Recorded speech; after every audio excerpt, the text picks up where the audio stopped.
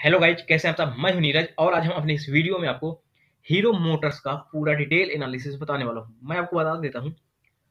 इसमें आपको long term और इंट्राडे दोनों के लिए बताऊँगा। पहले मैं आपको लॉन्ग टर्म एनालिसिस समझाऊँगा कि लॉन्ग टर्म में क्या ट्रेड कर सकते हैं, क्या नहीं। और फिर हम आपको कल के लिए फ्राइडे के लिए ये बताएँगे कि इंट्राडे के लिए क्या ट्रेड कर सकते हैं, इसमें क्या प्लान कर सकते हैं। तो चलिए डायरेक्ट स्टार्ट करते हैं। वीडियो को अंत तक देखते रहिए। तो आपको बहुत कुछ सीखने को मिलेगा टेक्निकल एनालिसिस से संबंधित। तो ये मेरा वीकली टाइम फ्रेम है।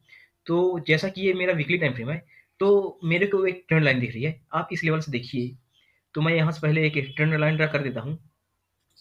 ये देखो भाई ये अपनी एक परफेक्ट ट्रेंड लाइन ड्रा हो गई।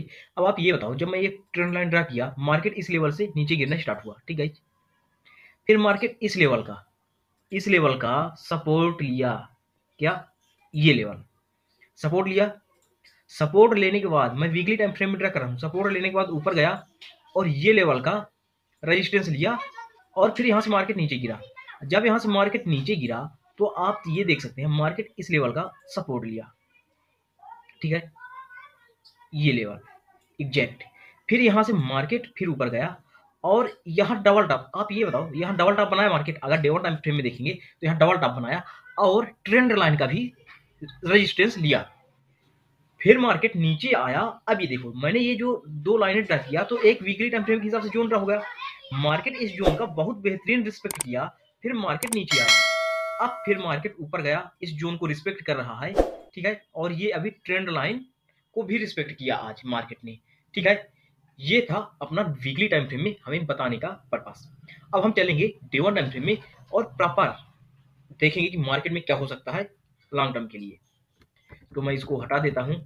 देखो भाई ये है अपना हीरो मोटर्स का डे वन टाइम फ्रेम का ग्राफ अब देखो डे वन टाइम फ्रेम में जो मैंने वीकली टाइम फ्रेम में जोन ड्रा किया था ना, कितना परफेक्ट काम कर रहा है। ये अपनी ट्रेंड लाइन कितनी परफेक्ट काम कर रही है और आप ये देखो, ये मेरा यहाँ से एक बार ऊपर गया मार्केट फिर इस जोन का अच्छा खासा रिस्पेक्ट मिला, फिर यहाँ तो बहुत ही तगड़ा रिस्पेक्ट मिला। और ये लेवल देखिए, जो अभी करंट लेवल चल रहा है, ठीक है?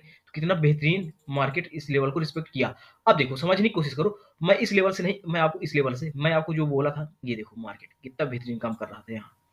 अब ये देखो मार्केट जब इस लेवल से नीचे गिरना स्टार्ट हुआ तो आप किस वे पे मार्केट नीचे गिरा? मार्केट यहाँ से नीचे आया, नीचे साइड इस साइड सपोर्ट लिया, यहाँ डबल बॉटम बनाया। आप ये देखो डबल बॉटम बनाया मार्केट और डबल बॉटम मतलब कुछ ना कुछ तो ऊपर जाएगा ही डबल बॉटम बना के मार्केट डायरेक्ट ब्रेकआउट नहीं देगा, ठीक है ना? फिर मार्केट ऊपर गया और एग्जैक्ट इस लेवल का रेजिस्टेंस लिया। क्या इस लेवल का रेजिस्टेंस लिया? अब इस लेवल पे देखो। नीचे आया रेजिस्टेंस लिया। अब ये देखो मार्केट जब यहाँ से ऊपर गया, इस लेवल का रेजिस्टेंस लिया, फिर मार्केट नीचे आया तो इस लेवल का सपोर्ट लिया। दोनों से कोरिलेट करना, ठीक है ना? दोनों को एक साथ कोरिलेट करके बता रहा हूँ। फिर इसके बाद मार्केट ऊपर गया रिटेस्ट किया। अब इस ट्रेंड लाइन को भी रिटेस्ट करके नीचे आया आज हल्का सा। अब देखो, अब यहाँ क्या हो सकता है मार्केट में? अगर मार्केट इस ट्रेंड लाइन को कर, अगर डे वन टाइम फ्रेम में ब्रेकआउट दे देता है ना तो अपना टारगेट हो जाएगा लॉन्ग टर्म के लिए बता रहा हूँ उनतीस सौ पचास टू नाइन फाइव ज़ीरो क्या? लॉन्ग टर्म के लिए उनतीस सौ पचास ये अपना टारगेट एक बार देखने को मिलेगा, अगर ये ट्रेंड लाइन ब्रेकआउट होती है तो।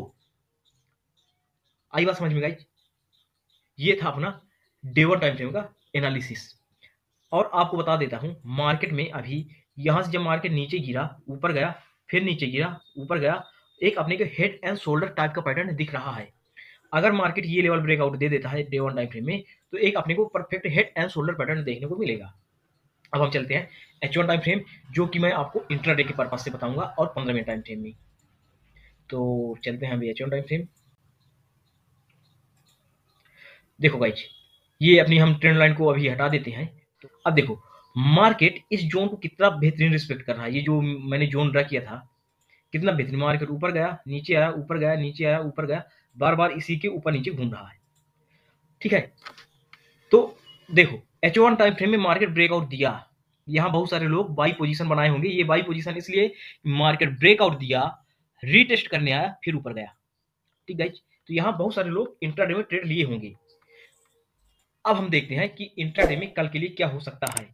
ठीक है? जो पोजीशन यहाँ काट लिए होंगे तो वो बच गए होंगे, नहीं, उनका आज स्टॉप लॉस हो गया होगा। हीरो मोटर्स में।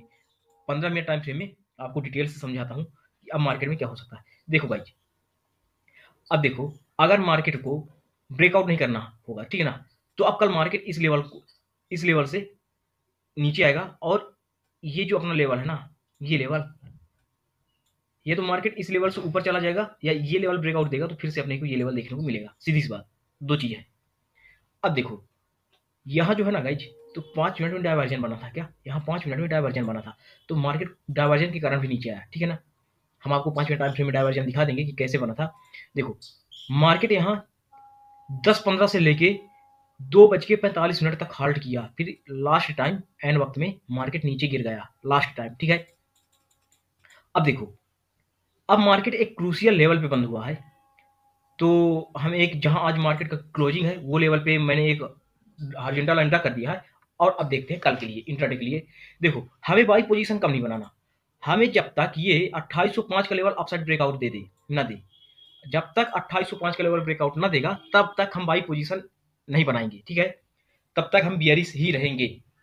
और डाउन साइड के लिए, अगर सत्ताईस पचपन का लेवल डाउन साइड के लिए, अभी है सत्ताईस चौसठ के लेवल पे क्लोज हुआ है। और सत्ताईस पचपन का लेवल अगर डाउन साइड ब्रेकआउट देता है तो अपना पहला टारगेट रहेगा सत्ताईस तीस का। क्या? सत्ताईस तीस का पहला टारगेट और सत्ताईस तीस भी ब्रेकआउट होता है। तब अपना दूसरा टारगेट रहेगा छब, सत्ताईस का लेवल ठीक है? तब दूसरा टारगेट सत्ताईस का अपना टारगेट रहेगा हीरो मोटर्स में कल के लिए। और अप साइड के लिए 2805 का लेवल ब्रेकआउट दे तो तीस रुपए का टारगेट रखिएगा। लेकिन कल अपसाइड ब्रेकआउट देने की संभावना नहीं है। अगर मार्केट ऊपर जाएगा तो यहाँ से ऊपर जाए और यहाँ से एक बार इस लेवल को रिटेस्ट करे, फिर ब्रेकआउट दे। ठीक है? या कल ये ये हो सकता है, अगर मार्केट गैप अप ओपनिंग हो तो इस लेवल तक मार्केट ओपनिंग हो ओपन हो, फिर मार्केट नीचे आ जाए। या अगर डायरेक्ट अपसाइड ब्रेकआउट देगा तो हाँ ये लेवल अगर ब्रेकआउट दे, सत्ताईस पचासी का लेवल अगर सत्ताईस पचासी का लेवल ब्रेकआउट देता है, तब हम अट्ठाईस ज़ीरो पाँच तक का टारगेट लेके चलेंगे। बीस रुपए का अपना टारगेट रहेगा, अगर सत्ताईस पचासी का लेवल ब्रेकआउट देता है तो। और एक अपना छोटा सा स्टॉप लॉस किसी एक ग्रीन कैंडल के नीचे रहेगा। ये रहा हीरो मोटर्स का पूरा डिटेल एनालिसिस अब बताओ वीडियो पसंद है तो वीडियो को लाइक करिए चैनल को सब्सक्राइब करिए। और कोई भी डाउट हो हीरो मोटर्स से या अदर स्टॉक से रिलेटेड कमेंट बॉक्स में कमेंट करिए, आपको हर एक डाउट का सोल्यूशन दिया जाएगा। Thank you